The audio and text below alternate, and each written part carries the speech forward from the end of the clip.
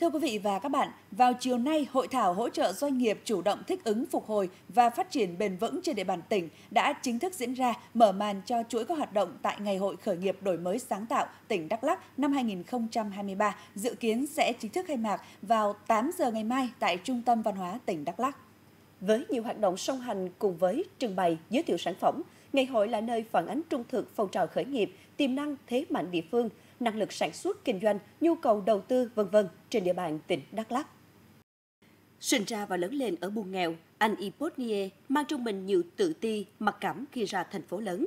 Nhưng sau quá trình học tập tích lũy kiến thức, anh Ipotnie đã tự tin khởi nghiệp với ED Cà phê, đưa câu chuyện của buôn làng ra thế giới. ED Cà phê đang là một trong những câu chuyện khởi nghiệp sinh động, truyền cảm hứng cho nhiều bạn trẻ trên địa bàn Đắk Lắk nhưng từ khi mới bắt đầu mà ED cà phê bắt đầu, gọi là, đã xuất hiện ở tại trong buôn này á, họ làm ra, đã tìm hiểu về cái môi trường, kỹ thuật, tất cả về mọi thứ. Lúc đấy thì đã làm cho cái cái cà phê của nhà mình á, là về cái kỹ thuật trồng nó sẽ khác đi. Và thứ nhất và thứ hai nữa là mình hạn chế các cái chất, gọi là, về về hóa học á, nên đem lại cho cà phê về cái phân bón hữu cơ nhiều hơn. Lúc đấy thì sẽ đem cho co, cà phê nó sẽ tươi hơn, nó phải gọi là, nó tốt hơn những năm gần đây đã có rất nhiều cái tên trong cộng đồng khởi nghiệp Đắk Lắk, cùng với đó là rất nhiều các sản phẩm đổi mới sáng tạo lần lượt tham gia thị trường.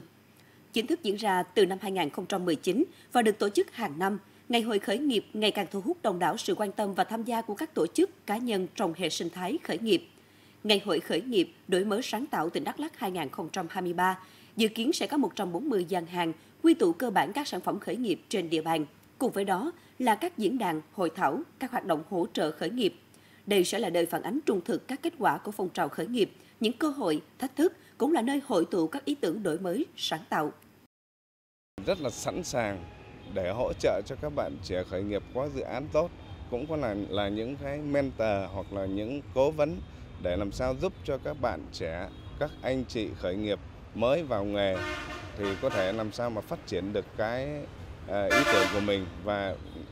đưa cái sản phẩm, đưa những cái mà ý tưởng đó thành hiện thực. Đến nay, thông qua rất nhiều hoạt động thiết thực của các cấp, các ngành, tinh thần khởi nghiệp đã đang lan tỏa trong các tầng lớp nhân dân, hình thành nên một cộng đồng khởi nghiệp hoạt động sôi nổi rộng khắp tại địa bàn. Qua đó cũng phần nào cho thấy tiềm năng, thế mạnh của Đắk Lắk nói chung, trong đó có lĩnh vực khởi nghiệp